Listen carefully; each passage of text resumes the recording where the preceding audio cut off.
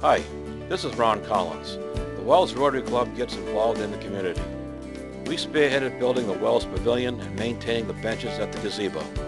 Wells Rotary believes in service above self, delivering meals on wheels. We're innovative. We provide quilts for third world children going through surgery. Wells Rotary sponsors fundraising events benefiting local projects and charities. We're working to be beneficial to all concerned. Wells Rotary. Volunteers wanted.